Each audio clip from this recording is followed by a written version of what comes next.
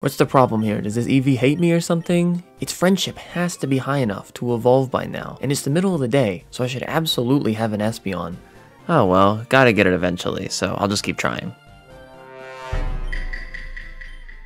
See, that's what I thought to myself back in 2008 when I was playing my Pokemon Leaf Green every day, and I was mad that Eevee could not evolve. Of course, I know now that they decided to not implement in-game time in the Gen 1 remakes because the original Red and Blue didn't include them. And that didn't really affect the experience a ton, I just wasn't thrilled about it when I learned that. Ruby, Sapphire, and Emerald, on the other hand, do have in-game time, but if you still have any of these games today or have taken out a small loan to pick up a physical copy recently, you've probably seen this weird cryptic message on the start screen screen.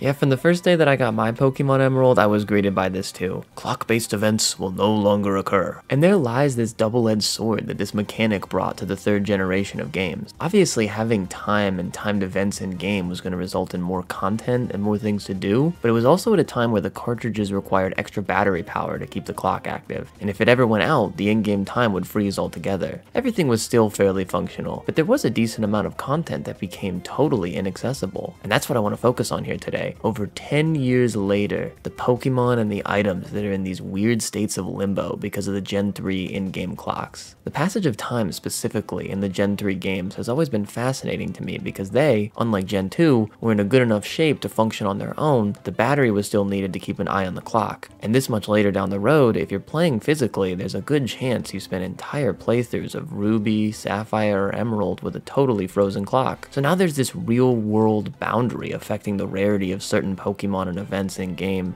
that may have even been completely hidden if you didn't know that they were there. And we're going to talk about all of them as we go on the journey with the Pokemon Lost to Time. Alright, so to start off here, we're going to dive into that first example I gave, with two of these Pokemon famously being Espeon and Umbreon. For me, these two are a couple of all-timers. They have simple and sleek designs, they've got mascot status from the GameCube games, and even kind of from Let's Go Eevee. They are 100% fan favorites. Everybody loves one of these two Pokemon. But they couldn't evolve, period Fire Red and Leaf Green at least, which is also kind of tough because the game has a clever way of doing a couple of timed events that we're going to come back to later, don't you worry. But the point right here is that these two Pokemon are simply unavailable, and this absolutely infuriated me as a kid, and it still does now. Espeon was on my dream team when I was a kid, and all I knew was that it needed friendship in the daytime. Maybe it was my punishment for having four flying types on my team at once, but I gave up on Eevee at level 96, and I'm still kind of mad about that. Okay, okay, but so what was the solution to this? If you just desperately wanted one of these Pokemon, they were all over the place in the GameCube games. They were the two starters you got in Colosseum, Espeon and Umbreon respectively, and then you got a low-level Eevee as your starter in XD. And in XD, Eevee actually just needs an item to evolve. You give it the respective item, you get to choose, and it turns into your evolution of choice. Probably as easy as it's ever been. But for all that, you're gonna need a GameCube, a GameCube link cable, GameCube games. Let's say you just have the Eevee that you got from the top of the Celadon City building, the gift Pokemon in Fire Red and Leaf Green. You're gonna have to trade that one over to the Hoenn games. And doing so also resets the friendship, so you have all sorts of work to do. But even worse, if your in-game clock is frozen in the game that it gets traded to, it can still evolve, but only in the form that goes with the time that your clock froze at. That time never changes. And if that time is night,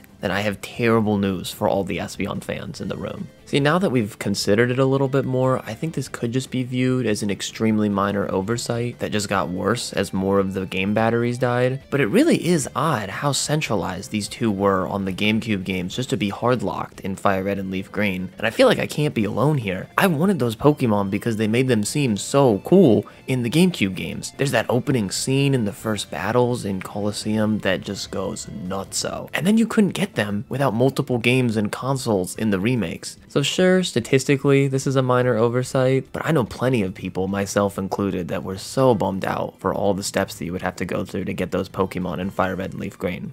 Another Pokemon that is affected in this way, and even has an overall area that gets affected with it too, is Snorunt and Shoal Cave in the Hoenn games. This is that cave above Mossdeep City in Hoenn, and it might be best known for where you can catch a Spheal. It's not super notable, But there's another Gen 3 ice Pokemon that lives here too, in an area that I never actually got to see as a kid. So this cave is probably the biggest implementation of time in the Gen 3 games. It consists of two separate areas that alternate accessibility every 6 hours, so 4 times a day. Half of the time you can go down to this special ice room, and then the other half of the time it is blocked off by water, which allows you to go up to these upper caves. It has a tide thing going on. I was someone whose clock froze with the ice cave blocked off, so I never got in there or even knew that it existed. Let me tell you, I didn't even know that Snorunt existed or evolved into Glalie for years because of this little issue, and I was shocked and overjoyed when I found the room and Snorunt inside of it when I was playing Omega Ruby. And it's not as big of a deal as an entire Pokemon line, but there is an item that this area can lock you out of too, the Shell Bell. There's an old man that'll craft it for you out of Shoal Salts and Shoal shells. Having a tough time pronouncing that one. But they were both exclusive to one of the cave's areas. It's a pretty decent item. You do damage and you get a small return on investment, kind of like a vampire item. But I had no idea what it did. Like, that's pretty good. But this place created this whole mysticism for me with the item, and I wanted nothing more than the shell bell. And I had no idea what it did, and it almost seemed like I wasn't supposed to have it. Hopefully, if your game has to freeze, it does so while the ice area is active, because otherwise you can't catch Snorunt. One of the Elite Four members has a Glalie, so you can at least know that the evolution line exists, but you're gonna have to get Snorunt from a different game. Fortunately, a Snorunt can be caught on the GameCube and then transferred over and then bred from there, and that's manageable, but I don't want to do all that. That's super frustrating. And it's just like for years, I thought that Snorunt was this almost mythical level rarity Pokemon that I was striving and striving to get, only to learn when I was giving computer access that no, it's caught here regularly, you just have to have a working battery. So those two lines are probably as bad as this phenomenon goes, but let's get into some of the nitty gritty of it all and look at smaller mechanics that might affect your day to day if you know what you're looking for. The Hoenn games do have a couple of daily events that will refresh based on the in-game clock, like at the good old Lilycove department store, they have the daily lottery. You know, take this time right now to see if you won the lottery. You may have just won one of their incredible prizes and you don't know it yet. This lottery actually kind of rocks because if you get the right prize, you can get a second EXP share, which is extremely unusual in these older games, and I could see that coming in really handy if you needed one. But if something like the Pokemon lottery is a little too easy for you, then there's always the rarely if ever seen Mirage Island, which works pretty similarly. There's this old man in Pacifidlog Town, Pac Pacifidlog dog, Pacifidlog? You know, let me know about that one below. I've never known how to pronounce that. Pacifidlog Town will let you know that he can see the island if any of the Pokemon in your party have a personality value matching his number. So both of these events generate a random number, which is 0 through 65,535, and then if you have a Pokemon that matches that random number, you get a prize. The lottery is way easier though, because it checks its random number against the ID number of every Pokemon you own, and you can get scaling benefits to that.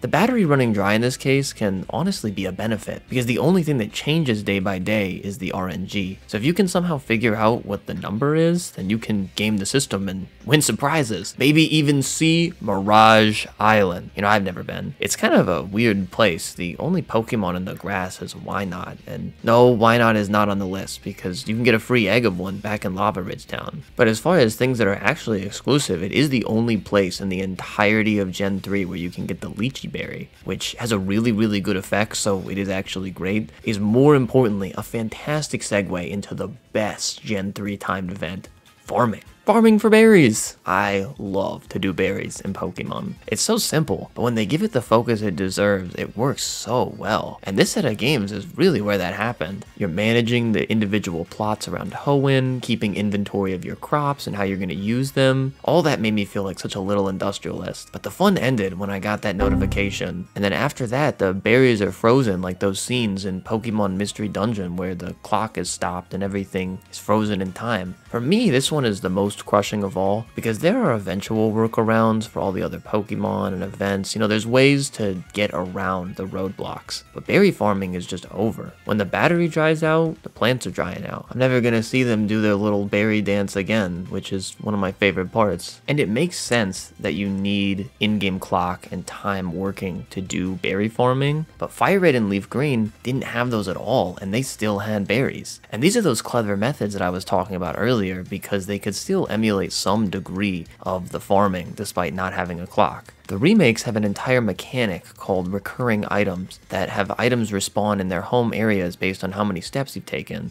And this is pretty cool for normal stuff like Pokeballs and potions if you're really in a bind, but berries get the best here because you can't farm them any other way you can dig a couple out of the trash on the boat, but that's it. However, in the three island berry forest, there's a pretty long list of berries that can appear in the ground that respawn this way hidden along the forest. Some of them are way more common than others, but ultimately there's a lot of berries here that you can get that respawn as you take enough steps. And this concept just fills me with glee. I would, I would say mirth even. I'm a kid running through the forest, picking fruit as I go to give to my Pokemon, and I am truly surrounded by beauty in this moment moment. And what a clever way to keep berries in without having the clock going. This of course begs the question why Eevee got left out in the rain, but I'm not to let that ruin my fun in the forest. Alright, and that's all I got on the shaky but still generally fun conventions of in-game time in the third generation of Pokemon games. Did you ever grapple with evolving an Eevee, or maybe catching a Snorunt in a certain ice cave? Let me know. These are seriously some of my favorite games of all time that I have poured countless hours of play and study into, and I love being able to cover them in this ultra-focused capacity here so much. So if you made it this far, thank you so much, and if you want to support me and my ability to keep doing doing this, please like the video and subscribe to the channel. I really, really appreciate it. That's all I got for now. Hopefully some big stuff on the way. Appreciate y'all. Drew Michelle.